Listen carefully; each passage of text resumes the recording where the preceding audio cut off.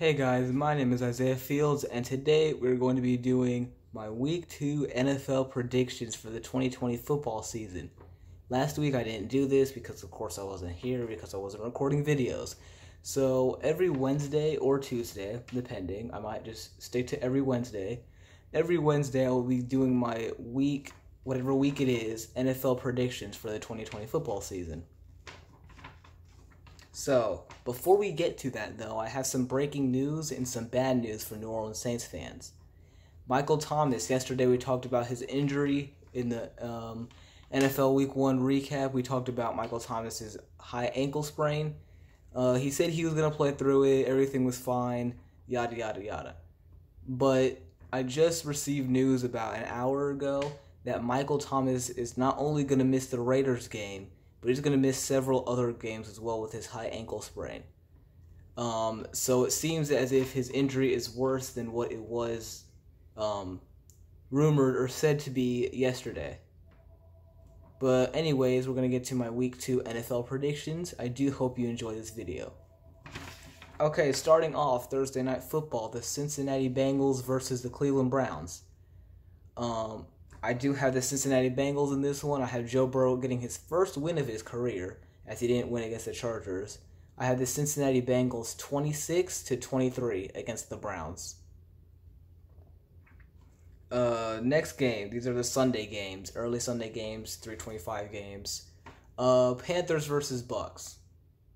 That game's going to be easy for the Tampa Bay Buccaneers. Tom Brady will bounce back. His uh, Mike Evans, I think he'll get going because he was shut down against Marshon Lattimore. Panthers don't have cornerbacks to shut down these Bucks receivers. I have the Buccaneers winning forty to nine against the Panthers. Next game, the Miami Dolphins versus the Buffalo Bills. This is my upset of the week. I have the Miami Dolphins. Yes, I have the Miami Dolphins upsetting the Buffalo Bills, twenty six to twenty. That's gonna be my upset of the week. Last week, my upset of the week did not go so well. The Steelers, actually, this re- recently, about two days ago, I picked the Giants to upset the Steelers by one point. Steelers took care of business in Ben Roethlisberger's return, but I do have the Miami Dolphins again beating the Bills, twenty six to twenty. Next game, the Minnesota Vikings going into Indiana, Indianapolis, playing the Indianapolis Colts.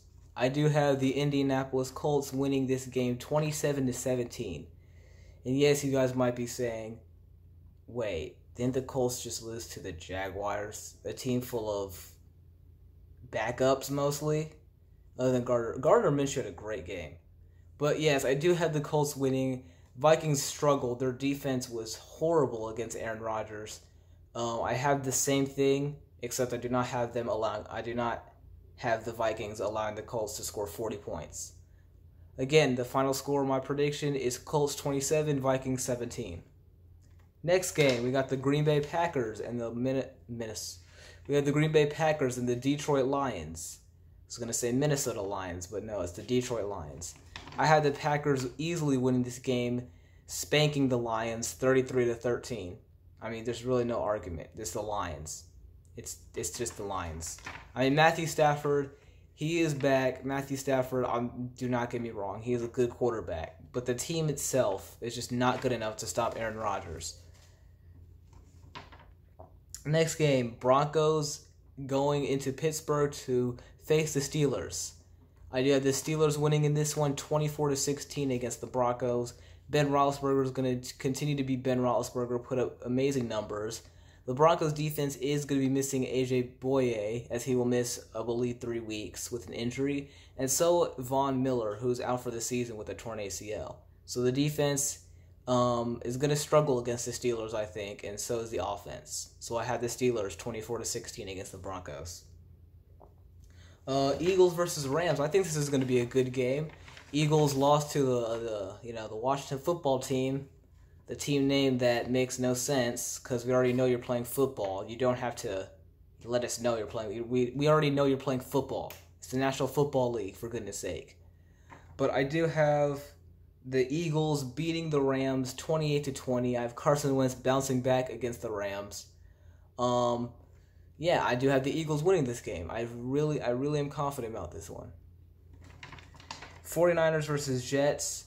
Uh, George Kittle got injured against the Cardinals. I'm not sure if he's going to be missing the Jets game.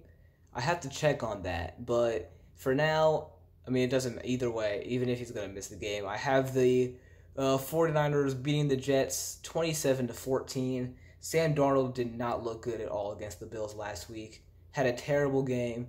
Uh, second half, he kind of got it going, but after that, uh, er, earlier in the game, he was not good. He did not have a good first half. They're also missing Le'Veon Bell, but though Le'Veon Bell has been qu- kind of quiet, Le'Veon Bell has not performed like he used to when he was the Steelers. So I do have the 49ers winning this 27 to 14. Next game, my Dallas Cowboys versus the Atlanta Falcons. I do have the Dallas Cowboys winning this one and before you call me biased, I'm not being biased. I picked the Rams against I picked the Rams to beat the Cowboys last week, so I'm not biased. Definitely not biased with my Cowboys. Promise you that. But I do have the Cowboys beating the Falcons 31 to 20. It's just that the, the Cowboys offense is loaded with weapons. They did lose Blake Jarwin, unfortunately lost Leighton Vander Esch, but they still have Jaylon Smith.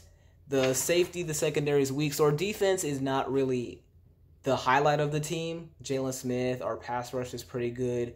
But when you get to the cornerbacks and the safeties, it's kind of eh, average or just not good. But I have the Falcons struggling against the Cowboys and the Cowboys pulling off with their first win of the season, 31 to 20. Next, I have next game is the Jaguars versus the Titans. Gardner Minshew I did not think he was going to perform the way he performed. He only uh, he only missed one pass. 19 for 20. Gardner Minshew was on fire. This game, though, I don't think that's going to happen again. I think the Titans will take this game easily. I don't think Stephen Gostkowski will miss four field goals. If that happens again, you just might as well cut him. There's no reason having him on the team if he's going to miss four field goals in two games, two straight games. But I have the Titans winning this one 38 to 10 against the Jacksonville Jaguars. Next, Chicago Bears versus the New York Football Giants. I do have the Chicago Bears winning this one 31 to 19 against the Giants. Bears pull off an impressive comeback against the Lions last week, uh, scoring 17 unanswered, if I'm not mistaken. 17 unanswered, if I'm not, yeah. I think it was 17 unanswered to win that game late in the fourth. Next game, we have the good old Washington football team versus the Arizona Cardinals. I have the Arizona Cardinals winning this game 28 to 18 against Washington. Chiefs versus Chargers. This is a no-brainer for me. Chiefs are going to win this game easily. They're going to stomp all over the Chargers. I have the Chiefs winning this one 30 to 13 against the uh, Los Angeles Chargers. Baltimore Ravens versus Houston Texans on paper this game is uh, this game is a really good game. On paper this game you might think uh, oh this would be a 34-31 or 28-25 or a shootout. I think differently. I think the Ravens will come into Houston and take care of business. I have the Ravens winning 31 to 16. Deshaun Watson is still going to be missing DeAndre Hopkins. His receivers, Will Fuller is a good number one receiver. Uh, Randall Cobb and Brandin Cooks they're they're mainly slot receivers. You could put Brandin Cooks at number two, and that really he won't fit there. You could put Randall Cobb at number two. He won't fit there. They're both made to be slot receivers, not number two receivers. Next game, Sunday night football, a good one. The Seattle Seahawks are going to host the New England Patriots. Uh, Cam Newton had an amazing game on the ground last week. I do think he'll have one rushing touchdown this week. I see him having, let's say, uh, eight, nine carries for 65 yards and a touchdown. But I do think the Seahawks will prevail and beat the Patriots 29 to 22. Final game, and like I said earlier, Michael Thomas will not be playing against the Raiders. I think Drew Brees has got it. He's a Hall of Fame quarterback. Uh, you have Ted Ginn, you have Emmanuel Sanders as well. So those two receivers are really good. You also have Alvin Kamara, who was a beast against the Buccaneers.